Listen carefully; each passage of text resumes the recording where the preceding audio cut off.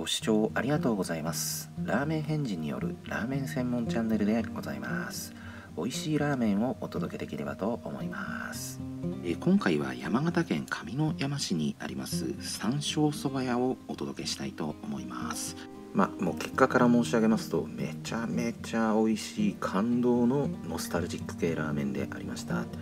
まあ、あの今年、えー、1月にですね一度、えー、訪れておりますが、えー、こう休みの日に、え鉢合わせてしまいまして食べることができませんでした。念願かない、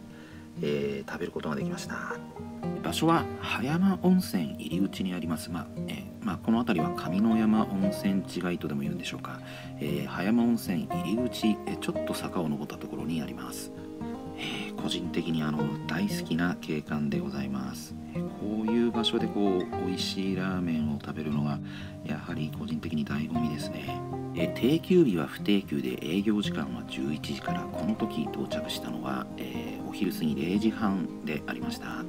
えー、なんともう人気すぎるのかチャーシュー麺がもう売り切れでございました。駐車場はお店の横の敷地に、え6台との情報ですが多分5台ですね。でこの日はあの土曜日だったんですけどもなんともう13時で、えー、営業終了でありまして。おそらくあの土日に行けば、えー、多分営業してると思うんですけども、えー、確実に食べたい場合は絶対11時から12時の間に訪れた方がいいと思います。はいそれでは、えお品書きでございます、えチャーシュー系が売り切れでしたので今回は、えラーメンにしました。650円、なんというコストパフォーマンス抜群といいますか価格帯すごい価格帯ですね、えー、この豚もも茶がいいですね。豚もも茶が、えー、2枚。そして、えー、刻みネギ、えー、結構大量のメンマ。海苔シンプル。最高です、えー、ノスタルジック系ではあるものの油が結構浮いてていいですね。このスープの色がたまりません。妄想妄想妄想でしたがもうこれは絶対うまいと思います。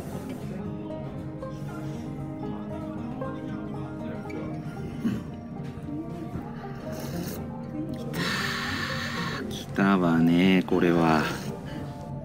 まず非常に軽快な飲み口、えー、ですけども物足りなさは皆無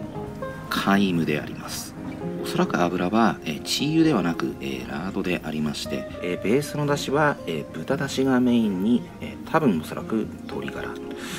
まあ、どうなんですかねあの山形といえば牛だしになりますけども牛だし結構使われるお店はありますが多分牛だしは、えー、ブレンドされておらず、えー、そこにやはりあの野菜のだしと思われます。野菜だしがですね、えー、こう組み合わさり、まあ、ノスタルジック系であればこう野菜ですよね野菜のだしでそこで、えバランスを、え織りなし、えハーモニーしで、ええ醤油がですねこう絶妙にこう連なり合ってくるんですね、え、ラード動物系主体のだしに、えー、まあ、野菜だしを含めた動物系主体のだしにこう醤油感が絶妙に連なってくる、えー、バランス系ノスタルジックスープ。でそれでどうなんですかね。チャーシューの煮汁も合わせられてる気がします。そこにラードが組み合わさり、えー、こう軽快な飲み口ながらしっかりとコク深い、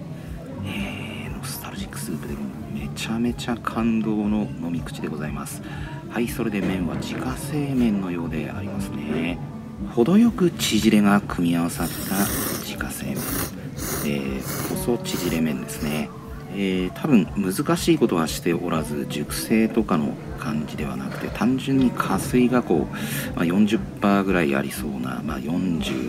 40, から45あたりの感じで、えー、こう麺肌がこうあのつるっとしておりですね、えー、食感はまずあの初動こう柔らかい感じで柔らかいかなと思いますと最後に適度な弾力コシを感じます。え麺とスープの組み合わせ最高です、えー、例えれば、まあ、ちょっと表現悪いかも間違ってるかもしれませんけれども、えー、米沢系の縮れ麺をもうちょっとこう縮れをこう和らげた感じ、えー、縮れがもっとストレートな感じ、えー、それでメンマはこう繊維に沿って繊維質に沿ってこう流れに沿って崩れ落ちる感じで繊維に逆らうとちょっとコリッとした感じもありつつ、えー、この味付けがいいですね。このスープとの淡麗スープとの、えー、組み合わさる時の味付けの変化、えー、差別化が絶妙です適度の発酵臭が最高です、えー、それで、えー、海苔はノスタルジックラーメンには、まあ、必須だと思いますよ、まあ、海苔を絡めてすすり上げれば磯の香りが、えこの、え爽快なすすり心地に相まってきます。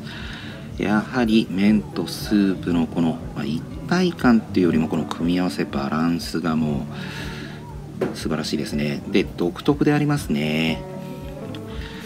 米沢ほど縮れてない麺で長さがある。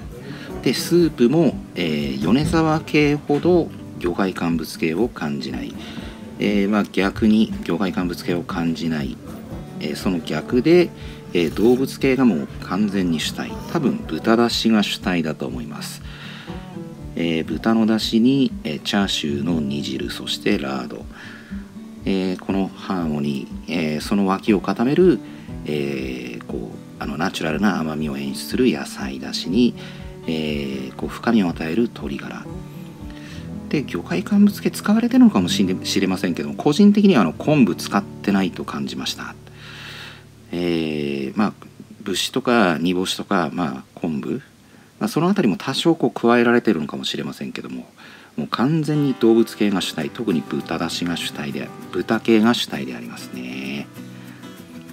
えー、なのでこう本当にこう麺とスープの組み合わさり方が独特。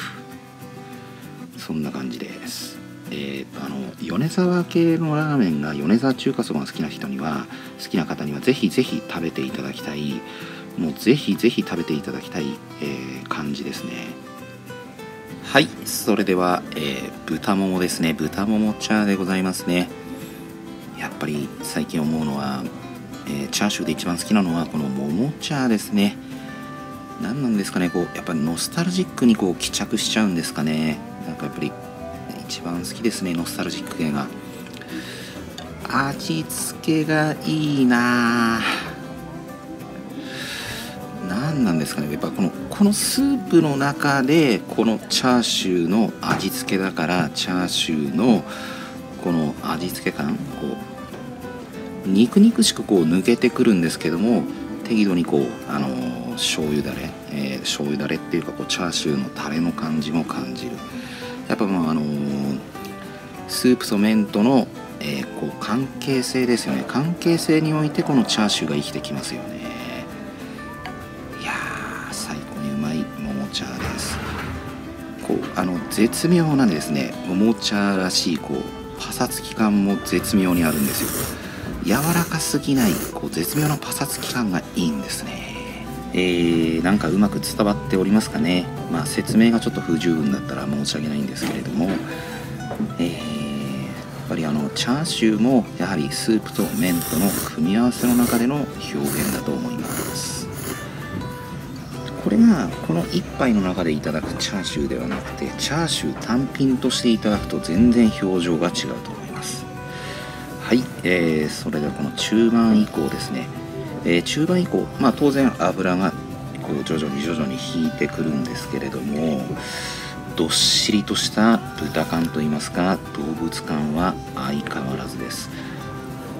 なのであの飲み口こう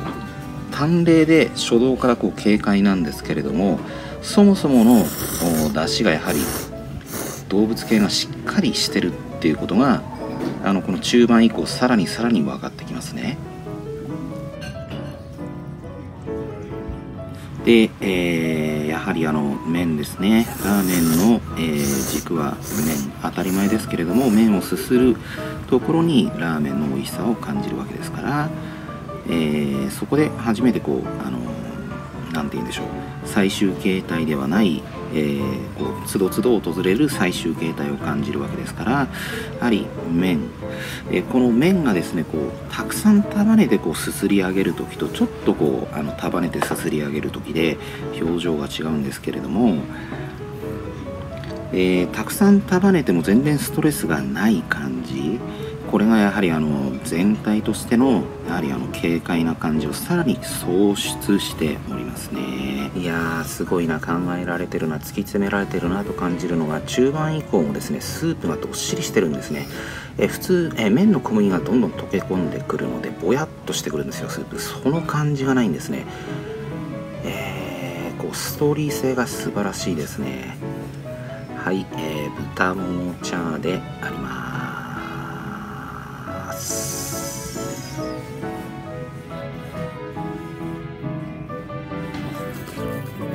これはあの、えー、オープンから1時間半でまあ1時間程度でチャーシュー麺が売り切れてしまう理由が分かりますね。えー、過去食べた豚もも茶ノスタルジック系豚もも茶で最高一番かもしれませんね。このスープとのこう差別化が素晴らしいんですね。で絶妙なもも茶らしいパサつき感。パサパサしすぎてない柔らかさもありだけども柔らかすぎない豚もも茶らしさもある。パサパサ感。絶妙な表現とスープとの関係性におけるこの味付け。タレの感じが染み込んでる感じ。この表現。素晴らしい。めちゃめちゃ美味しいです。絶対ですね。これチャーシュー麺おすすめですよ。チャーシュー麺食べるんであればもう11時ですね。もうオープンに食べるしかないですね。すぐ売り切れてしまいます。売り切れでしたからやはり人気なんですね。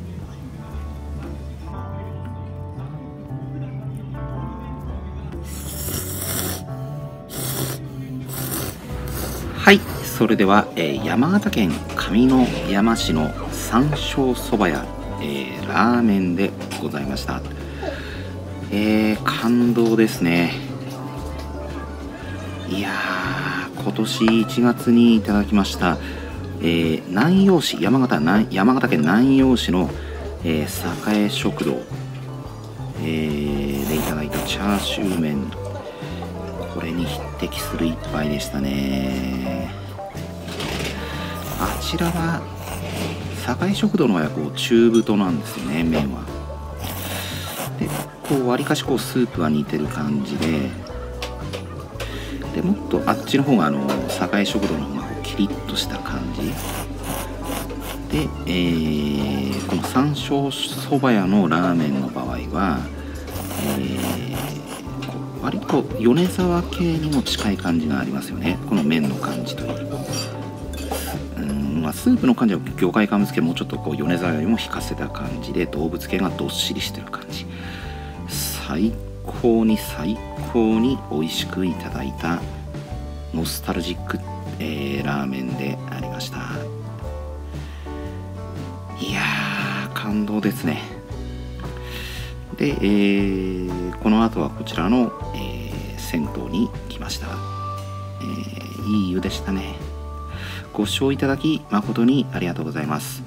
これからも美味しいラーメン麺料理をですねお届けできればと思いますのでよろしければチャンネル登録お願いいたします。えー、あと1杯、えー、山形でいただきました。